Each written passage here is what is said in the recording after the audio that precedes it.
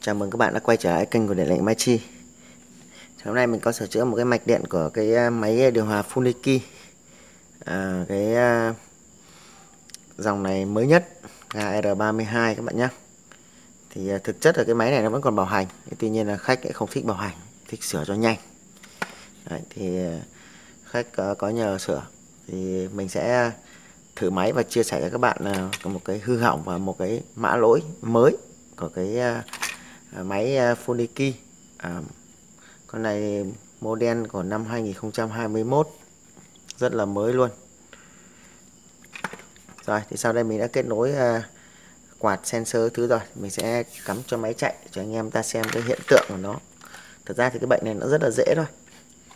Mình chia sẻ cho anh em xem là cái bệnh này nó là cái bệnh gì và nó cái mã lỗi mới của nó là cái mã như thế nào.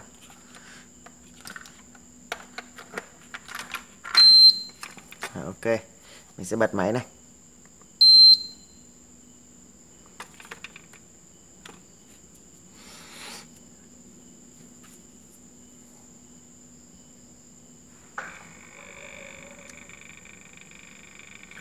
Đó, quạt tần lạnh đã chạy rồi.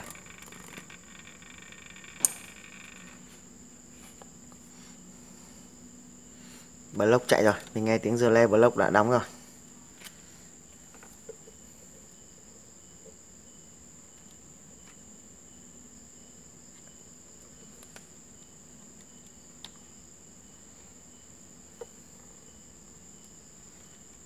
Đấy. Đây block đã đóng rồi các bạn nhé bật lên chạy block chạy quạt chạy block được khoảng tầm uh, một lúc thì báo lỗi.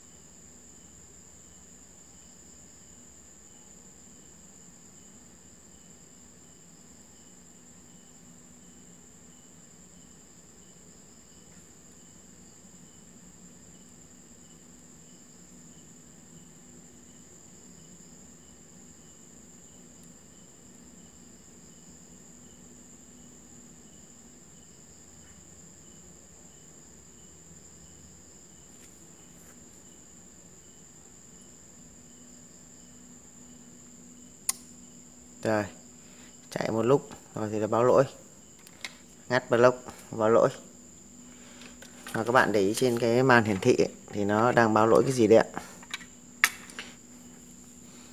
Đó mình chia sẻ cho các bạn một cái mã lỗi rất là mới của cái dòng điều hòa Funiki đó là lỗi EH03 lỗi EH03 Thế thì cái lỗi EH03 là cái lỗi gì của cái máy này? Thì theo như à, mình chuẩn đoán thì cái lỗi này nó là lỗi của cái à, hư hỏng liên quan tới cái quạt giàn lạnh này. Thế tuy nhiên là các bạn thấy là chạy rất là lâu mới báo lỗi, đúng không ạ? Rồi, thế thì để xác minh có đúng là bị lỗi hư hỏng liên quan tới cái quạt này không, thì mình sẽ tắt máy đi. Mình sẽ bật lại và mình sẽ đo cho các bạn xem để chúng ta xác minh là đúng là hư hỏng có liên quan à, cái quạt này hay không. Rồi, mình cắm điện lại này thời mình sẽ tắt máy đã. Thì để xác minh có đúng là hư hỏng cái quạt này không á thì chúng ta sẽ có hai bước xác minh. À, xác minh thứ nhất là các bạn thấy là quạt vẫn chạy được đúng không ạ? Mình mở máy lên này. Mình sẽ đo cái chân cấp điện 220 cấp điện cho quạt. Thì các bạn sẽ thấy là à, mạch điện là suất điện là rất là cao hơn 200V và các bạn thấy là kim đang lên. Đó suất điện rất là cao, quạt chạy tít vù luôn. Và các bạn thấy là gì? Nó lên rất cao. Và mình thay đổi cái tốc độ quạt này. Về số bé nhất này. Đây, tốc độ nhỏ nhất nhá. Thì các bạn thấy là điện áp vẫn không thay đổi đúng không ạ? Vẫn là suất 220V mình thay đổi tốc độ này, số 2 này. Tốc độ trung bình này. Các bạn thấy không thay đổi gì đúng không ạ? Tốc độ cao nhất cũng không thay đổi gì này. Luôn luôn cấp một cái à, một cái điện áp cố định mạnh hết cỡ cho quạt chạy. Rồi mình sẽ đổi này chức năng này chạy auto cũng chả thay đổi gì luôn này. Như vậy là chúng ta không thay đổi được cái gì à, cái tốc độ của cái quạt gió. Số 1 này. Đấy, tốc độ thấp nhất. Là các bạn thấy là gì? Khi mình thay đổi tốc độ thì à, cái điện áp cấp cho cái quạt này gần như là gì? Không thay đổi kim đồng hồ không hề thay đổi. Như vậy là à, thứ nhất là vấn đề liên quan để mình ta xác minh này. Là cái mạch điện luôn luôn xuất điện à, hết cỡ số điện mạnh nhất cấp cho cái quạt thứ hai là chúng ta sẽ kiểm tra cho mình này. Chờ một tí để báo lỗi luôn chúng ta sẽ kiểm tra cho mình là cái gì? À, cái sung hen báo về này. Sung hen quạt này sử dụng là 12V điện áp cấp xung hen 12V chân phản hồi này. Đấy, chân phản hồi các bạn thấy khi mình đo quạt đang chạy là đang là gì? 11V luôn. Chân cấp thì là bao nhiêu? Chân cấp thì là 10 13V còn chân phản hồi về là gì? 11V luôn.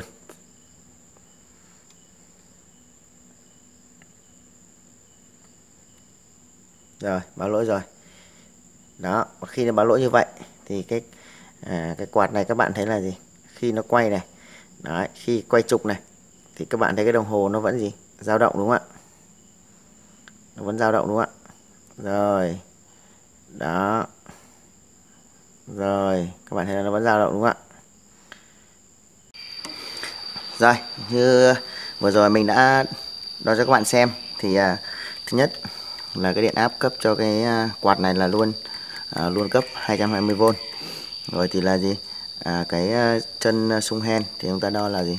À, có dao động. Khi chúng ta xoay chủ quạt là có dao động. Nhưng mà chỉ dao động từ ờ, 10 12V mà không về không được. Như vậy chúng ta xác định là nó bị hư hỏng cái à, mạch sung hen ở trong cái quạt này.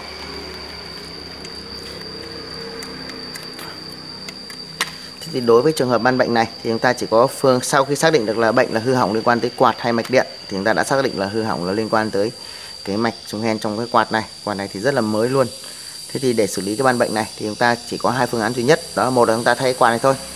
Hai là mình ờ, chúng ta sẽ sửa chữa cái mạch hen ở trong ờ, ở trong cái quạt này.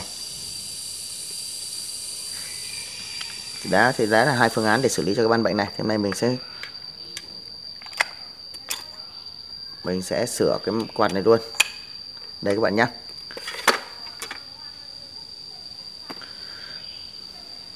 đấy các bạn thấy không?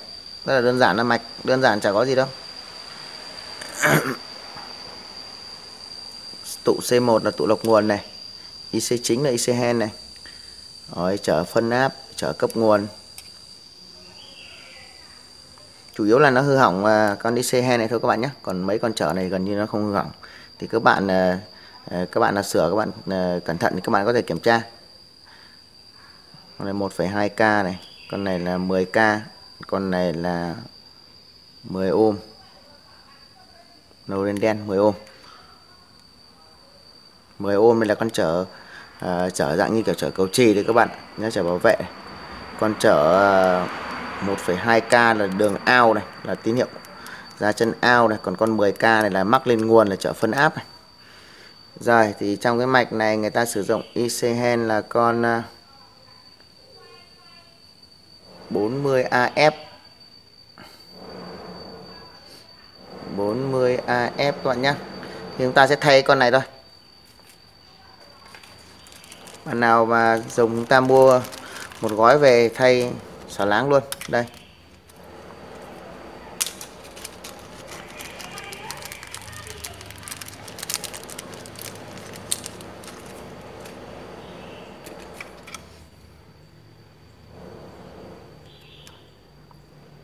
40AF này các bạn nhé. Đây.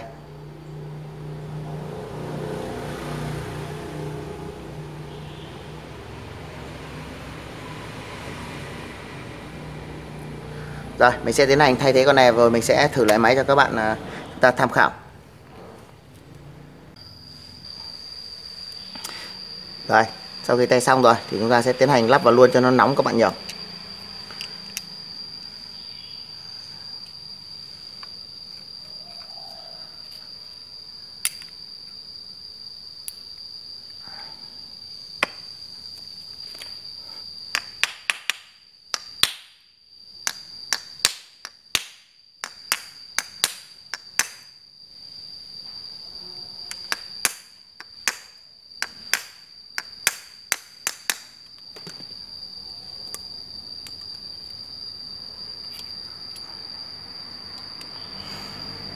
Rồi chúng ta sẽ cấp điện vào cho nó và chúng ta sẽ thử xem là nó xem là nó như thế nào.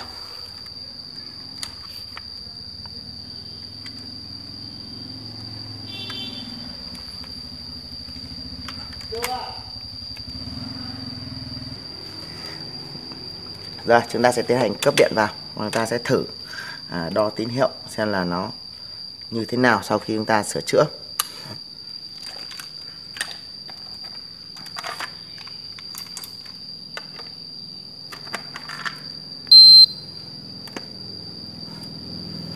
Ok, đầu tiên là chúng ta sẽ kiểm tra lại cái sung hen xem là lúc trước chúng ta đo nó thay đổi từ 10 đến 12V thì sau khi chúng ta thay IC hen xong thì nó sẽ thay đổi như thế nào.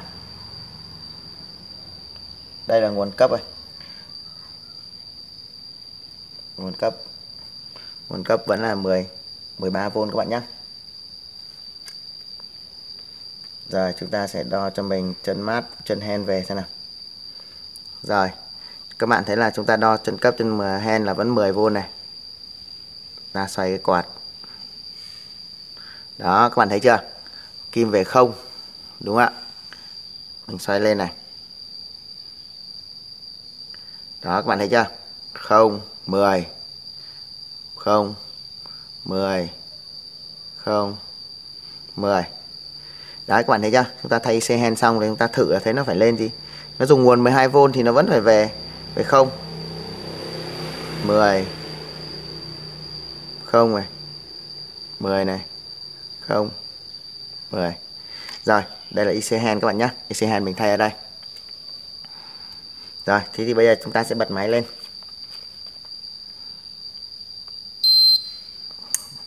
Và chúng ta sẽ chuyển qua đo điện 220 ở hai chân cấp AC của cái quạt này. Đó, các bạn thấy chưa? Khi mà Isen làm việc tốt thì chúng ta đo bằng cái chân cấp quạt này.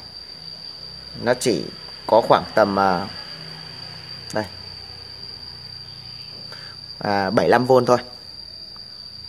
70 75V đây các bạn nhé mình thay đổi tốc độ này. Số 2 này thì các bạn thấy là gì? Vẫn vậy đúng không ạ? Nó hoạt động đến áp rất là thấp thôi. Tốc độ cao nhất này cao nhất là vẫn vậy này. Đó. Quạt đang chạy ổn định cho nên là nó rất là thấp.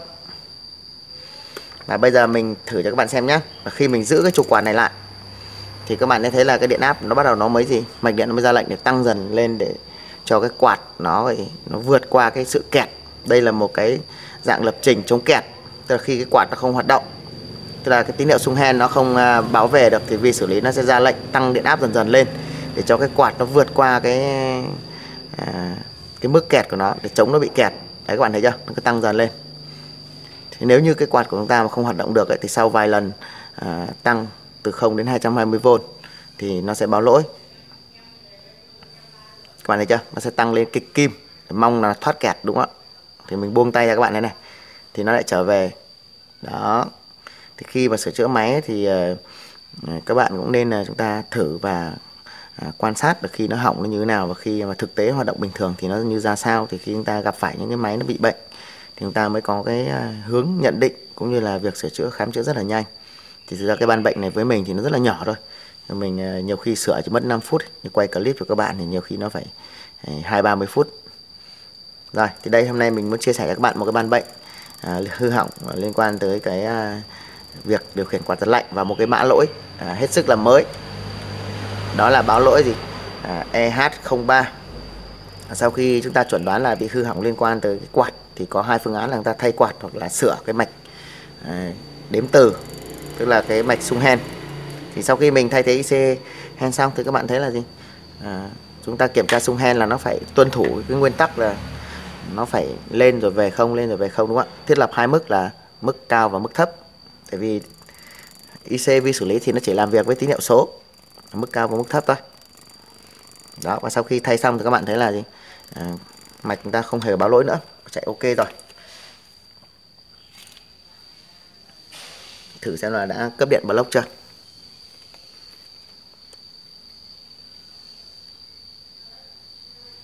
Rồi đã cấp điện block rồi các bạn nhé và các bạn thấy là gì chạy rất là lâu mà không hề báo lỗi gì đúng không ạ